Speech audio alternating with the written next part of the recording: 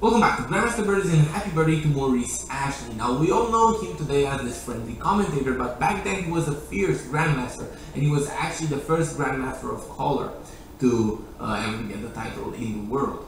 And now here it seems like he's gonna get, you know, some insane sacrifice, but instead he's actually gonna play a surprising move. He did do an insane sacrifice, but he sacrificed his queen and he picked up the bishop and now he's just gonna have a raging attack. He gets his king to safety, kicks out the knight, now invites the queen for a little pawn, but this queen is not gonna be able to come back. And in just a couple of moves, this king is left completely naked.